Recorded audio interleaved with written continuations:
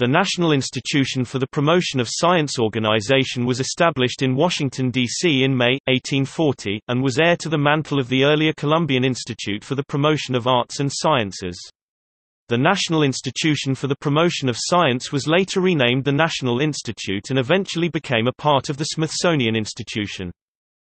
The National Institute was the initial repository for collections of artifacts brought to the U.S. by the United States Exploring Expedition, as well as various other objects accumulated by the government, such as items owned by early American politicians, patent models, and natural objects. Housed in the Patent Office building, these were the precursor to the Smithsonian Institution collection. The cabinet was managed by a group of scientists in 1840 and others to secure control of the Smithson bequest and create a national museum in Washington.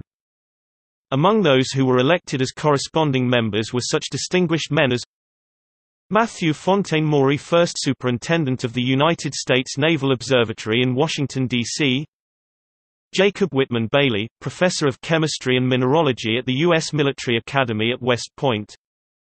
Professor Joseph Henry, of the College of New Jersey, at Princeton. Alexander Dallas Bache, president of Girard College of Orphans, Philadelphia. Denison Olmsted, professor of natural history at Yale College. Foreign scientists were also represented. Professor Charles Wheatstone of King's College, London.